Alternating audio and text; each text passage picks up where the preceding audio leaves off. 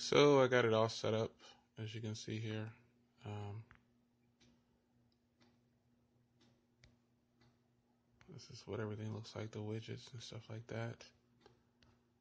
Uh, looks pretty good. Different, uh, but uh, all the shortcuts and things like this are much easier to organize and get to. I like how this looks. You can see I have some of these on my on my desktop uh, already set up, the ones that I'll use the most. I think it looks pretty good. Uh, for the most part, though, um, it's really not not much to it. What do you guys think? BlackBerry Priv launching last week.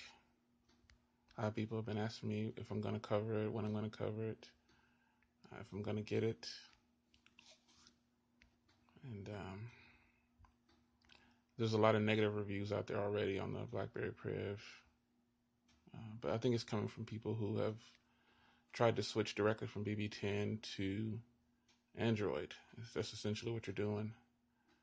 Uh, but um, nonetheless, uh, it's Android. It's not BlackBerry. Just has the logo on it, but uh, the setup is pretty cool. Uh, I think uh, for people that have never used Android and you're on BlackBerry, I wouldn't suggest that you just switch like that um, right off the bat. I would suggest that you go ahead and, and try, uh, go into a local store or something and um, try to get it, uh, some playtime with it. So.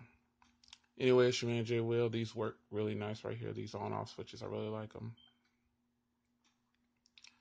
Uh, but it's your man Jay Will, and uh, I will see you guys in the next video. Take care.